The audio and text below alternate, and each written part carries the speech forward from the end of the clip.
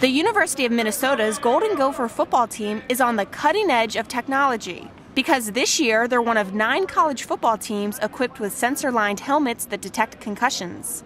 The way it works are there's six sensors on the inside, so if a player's playing on the field and gets hit hard enough, it then pages the medical team and they can evaluate if there's a concussion, where it is on the helmet, and how bad it is. It's real time, so it goes straight to the laptop, which goes straight to the beeper.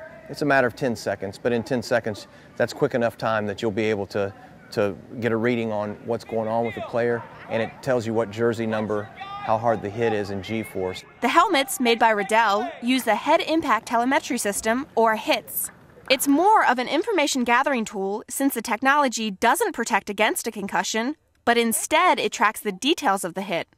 And considering it is football, not every hit pages the medical team. What the, what the technology does is measure the, the, the acceleration of the helmets when there's a hit, and it measures it in so many G forces. And what we do is uh, when it, it's reached a, a, a, certain determined G force, uh, it will page us uh, on our pagers that we wear every practice. Ed Lockery, the team's head trainer, says the system is important because concussions are one of the most serious injuries in football. So far, the team's been lucky. There's only been two concussions this year.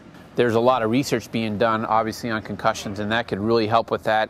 Um, people are starting to research, you know, the direction of the hits, how many hits, and, and where they occur on the head, and, and all those things are great for doing research and developing better helmets and developing uh, a way to treat these. With this information that we gather uh, on, on every hit and every practice, you know, it's being sent to the helmet manufacturer which will help them design a safer helmet. The Gophers equipment manager, Darren Kearns, is the one who lobbied for the helmets and says they make everyone feel a little safer on the field. They feel uh, more protected. They're, obviously, their parents are, are really happy about it, and, and, we, we tell them that when we're recruiting, you know. I just think that the technology will continue to get better and better. The experimentation will be great, and uh, again, in the long run, if it benefits the kids, if it helps us safeguard kids, that's what it's all about. Right now, 40 of the Gophers' helmets are lined with the sensors. Next season, 70 helmets will have them. Each sensor pack runs about $1,000, and Kern says it's worth it.